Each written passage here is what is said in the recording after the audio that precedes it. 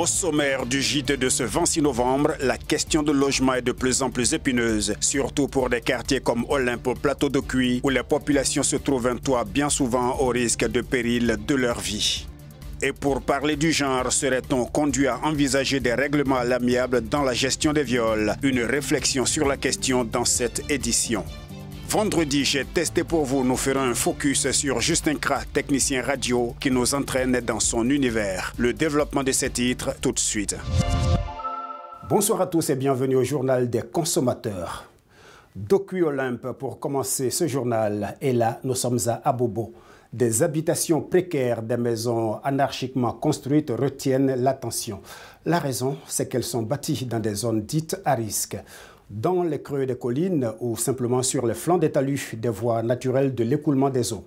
Denis Au quartier d'Okuolembe, dans la commune d'Abobo, non loin de l'université Nangia Brogois, certains habitants vivent dans une situation de précarité. À l'entrée du quartier, l'on peut apercevoir plusieurs maisons construites dans des zones à risque, des maisons situées dans des creux des collines ou sur le flanc des talus, qui représentent des voies naturelles de l'écoulement des eaux de ruissellement, une situation qui crée plusieurs difficultés. On a plusieurs difficultés, on a problème d'eau, on a problème courant, bon, et puis bon, on n'a pas les moyens, c'est pour cette raison on est ici. Oui, oui, nous savons que c'est dangereux. Mais là, chacun prend ses précautions. Souvent, même là, il y a les gaz, même là. On peut préparer.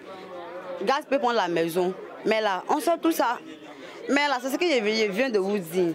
Tout ça, là, c'est les conditions de vie. C'est parce qu'il n'y a pas les moyens que chacun est obligé de vivre sur cette condition. Parce que ça ne va même pas.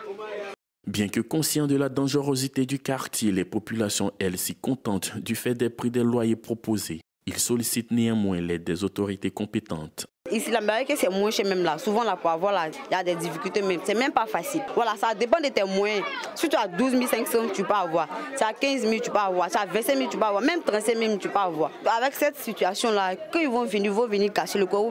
Ah, quand c'est comme cela, là, d'autres vont se retrouver au village parce qu'il n'y a pas les moyens. Tu es obligé de partir au village. Bon, tu vas quitter ici, tu vas partir dans autre quartier. Peut-être qu'ils vont te dire caution 200 000, 300 000. Peut-être que pendant que toi-même tu travailles là, si ton trop payé là, 1000 francs dans la journée. En tout cas, tout ce que nous pouvons dire là, c'est d'aider les parents qui sont ici. C'est d'aider parce qu'actuellement là, ça ne va même pas. Plusieurs opérations de déguerpissement ont été initiées dans des zones à risque à Abidjan. Mais les mesures d'accompagnement ne suivent généralement pas ou sont insuffisantes, ce qui induit la récolonisation d'autres sites à risque. Une véritable politique de prise en charge des personnes en situation difficile doit être envisagée pour régler durablement cette situation. Parlons de genre. Une campagne nationale de 16 jours d'activisme contre les violences faites aux femmes a été lancée hier jeudi à Abidjan par le ministère de la Femme, de la Famille et de l'Enfant. Selon le rapport statistique de 2020, ce sont plus de 5000 cas de violences basées sur le genre qui ont été rapportés et pris en charge par les services sociaux en Côte d'Ivoire. Sachez que 822 de ces cas sont des actes de viol perpétrés sur des mineurs, soit 77% des cas. Le ministère invite les femmes de Côte d'Ivoire à sortir de leur peur, à briser le silence et à dénoncer de tels agissements.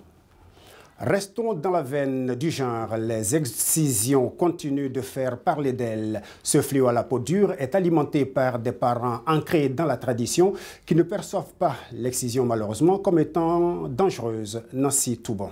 Les mutilations génitales féminines ou excisions désignent l'ablation totale ou partielle des organes génitaux féminins extérieurs. Ils se pratiquent généralement à bas âge et dans certains cas peu avant le mariage de la jeune fille. Cette pratique, qui touche 200 millions de filles dans 30 pays du monde, se déroule principalement en Afrique où l'on estime le nombre de victimes à 91,5 millions de femmes et de filles de plus de 9 ans vivant actuellement avec les conséquences de ces mutilations sexuelles. Sur le continent, on estime que tous les ans, 3 millions de filles risquent de subir ces pratiques néfastes dues aux considérations traditionnelles, culturelles ou religieuses. Selon ces adeptes, cette pratique symbolise le passage à l'âge adulte de la jeune fille. Au-delà de ces aspects culturels et traditionnels mis en avant, c'est une pratique aux nombreuses conséquences qui sont entre autres les problèmes vaginaux, les saignements abondants, des infections, les scolarisations dans les cas où l'excision est suivie d'un mariage précoce, douleurs en urinant, complications lors des grossesses et des accouchements, état de choc violent et mort pour ne citer que ceux-ci. Des problèmes de santé ignorés par la majorité des femmes adultes excisées dans l'enfance. Selon les études, 86 millions de filles supplémentaires âgées de 15 à 19 ans risquent elles aussi de subir des mutilations génitales d'ici 2030. La pression sociale, le tabou autour du sujet, le manque d'informations sur ses conséquences néfastes pour la santé, les amalgames avec la religion musulmane, les croyances et les superstitions très ancrées dans les communautés font de l'excision une des pratiques traditionnelles néfastes les plus difficiles à éradiquer au monde. On n'a pas fini de parler de genre, malheureusement. Faut-il envisager parfois des règlements à l'amiable en cas de viol La question alimente la polémique ces temps-ci et demande peut-être que nous nous y intéressions. N'est-ce pas, Eva Royal? De nos jours, des scènes de violences graves et d'abus sexuels sont commis sur les femmes, les jeunes et les petites filles dans la plupart des cas dans nos familles, espace naturel prétendu pour sécuriser tout être humain qui qu'il soit.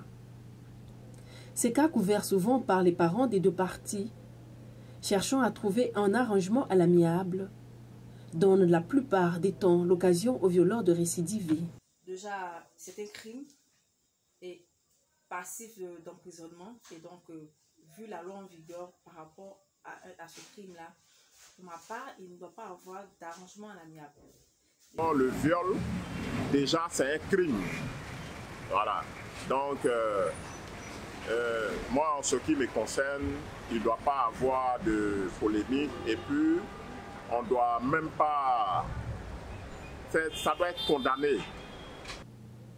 Dans nos traditions africaines, le viol, considéré comme une déchéance sociale, un déshonneur oblige certaines personnes à se renfermer sur elles-mêmes, au risque d'être exclues par la communauté. Dépend des cas. Si les cas se sont, sont présentés au niveau des deux familles qui se connaissent très bien, là, à ce moment-là, on peut chercher à arranger à l'amiable. Il faut noter qu'en Côte d'Ivoire, le viol est sévèrement puni par la loi et les auteurs d'abus sexuels sur les mineurs encourent d'une peine d'emprisonnement à vie. Un tout autre sujet à présent, mais toujours dans la société. Recensement général de la population et de l'habitat. La date de fin de l'opération est prorogée au 7 décembre 2021 au lieu du 28 novembre comme initialement annoncé. Le chef de l'État a autorisé une période de ratissage de 9 jours supplémentaires. L'information a été donnée par le ministre du Plan et du Développement au cours d'un point presse hier jeudi à Abidjan Plateau. Cette décision a été prise pour permettre justement à toute la population de se faire recenser. Parlons santé, le savoir de mère à fille, parce que bien souvent dans nos sociétés, la médecine traditionnelle se transmet et précède la médecine moderne. Et les traitements traditionnels occupent, pour ainsi dire, une place de choix dans la vie des consommateurs. On en sait plus avec Christian Gokra. Le recours de la population à la médecine traditionnelle pour ses besoins en santé est en progression en Côte d'Ivoire. Les soins administrés par les praticiens de médecine traditionnelle sont des recettes thérapeutiques qui se transmettent généralement. Florelle en est un exemple. Cela fait plus d'une dizaine d'années qu'elle succède sa mère dans la vente. Je vends les médicaments. Bon, moi je vends avec maman, mais depuis très petite, maman a commencé à à l'âge de 12 ans. Il fait un soin pour la cigarette, la drogue, boisson. C'est tellement efficace. C'est efficace juste quand ça dépasse. Parce que maintenant, c'est vrai, on dit la médecine soigne, mais les plantes aussi, ça soigne. Pour moi, que là, il fait confiance à mon Si les populations sont de plus en plus mal en point aujourd'hui, c'est sans doute pour cause de mauvaise alimentation. Après des années d'expérience, Florel croit que les plantes médicinales guérissent Aujourd'hui, tous les produits qu'on mange à Abidjan, ça crée d'autres problèmes. À cause de la maladie, tu peux ne plus faire les enfants. Donc ceci qui est là, ça donne enfant, ça rend le sperme bien lourd, ça rend ça propre. Ça c'est à base de maïs et tchongon. Parce qu'il est sucré. Il y a d'autres mecs qui peuvent aller revendre dans les autres villages, à Gamé, la santé est primordiale et surtout les jeunes sont appelés à se défaire de certaines mauvaises pratiques pour leur bien-être. Je vais parler à tous les jeunes qui prennent la cigarette, la drogue aussi qui est là. Ça affaiblit les hommes. Donc un conseil, arrêtez de fumer. Maintenant si tu veux arrêter de fumer ou arrêter de prendre la drogue aussi, on vend. La médecine traditionnelle ne concurrence pas la médecine conventionnelle. Elle offre bien au contraire des soins et collabore avec la médecine moderne. Agriculture, des transformateurs ivoiriens de noix de cajou ne sont pas contents. Ils disent être marginalisés dans la transformation locale de la noix brute face aux producteurs asiatiques. Une situation qui se comprend d'autant plus difficilement quand on sait qu'en la matière, le pays est premier producteur mondial. Mais la faible transformation nationale, à peine 10%, n'est pas de nature à arranger les choses. Seulement, espérons des chiffres meilleurs puisque l'État ivoirien envisage de tripler cette transformation en 2022. Au Burkina Faso, la coupure d'Internet crispe la population. Les entreprises et membres de l'opposition contestent la coupure d'Internet opérée par le pays depuis le 20 novembre dernier. Les autorités ont décidé de la suspension de la connexion mobile après les manifestations contre la politique sécuritaire du gouvernement burkinabé jugé impuissant face aux attaques djihadistes, des manifestations également hostiles à la présence de l'armée française. Nous sommes vendredi et donc dans la rubrique J'ai testé pour vous, nous faisons un focus sur Justin Kra, un technicien radio qui nous entraîne justement dans son univers. Commentaire Karel Octave.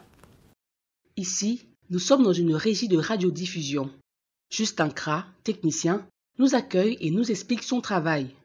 Bienvenue à la rubrique de tous les vendredis J'ai testé pour vous. Selon mon conducteur, 14h15 minutes à la montre ici, c'est émission en langue abourée qui passe actuellement.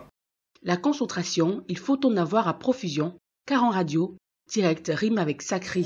Le travail du technicien d'abord, c'est un travail de, de, concentration en général. Parce que si tu n'es pas concentré, vraiment tu vas passer à côté de ton travail, à côté de tes émissions. Donc dans l'ensemble, et c'est ce qui fait même la particularité de ce, de ce service. Voilà, la concentration. Entre le technicien et son animateur ou son journaliste, la bonne entente, voire la complicité, doit être la règle d'or. Le journaliste ou l'animateur en question est chargé d'établir un conducteur. Il fait le conducteur de son émission et quand le conducteur est prêt, il vient vers moi, le technicien, il me fait part du conducteur. Moi, je prends note, je prends acte. Et ensemble, on essaie de, de s'accommoder sur le conducteur, sur les chants, peut-être à jouer au cours de l'émission, sur des éléments également qu'on pourrait jouer, s'assurer que tous ces éléments-là, que ce soit audio ou des chants, que tous ces éléments-là soient bien et belles en place du direct en situation de retransmission hors station au différé, Justin ne nous cache rien. Une fois que l'équipe en question est sur place, eux, ils font leur installation. Ils installent le matériel et ils vont prendre la sortie sur la table de message de, de la sono en question, là où il se trouve.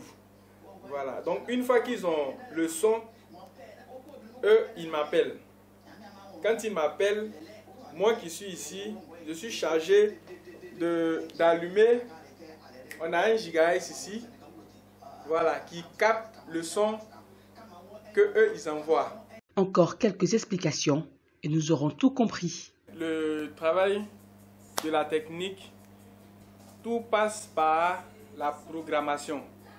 Donc derrière, on a le chef d'antenne qui est chargé de programmer tout ce qui est sur le conducteur ici. Mais il peut arriver qu'il peut-être il oublie de programmer un élément.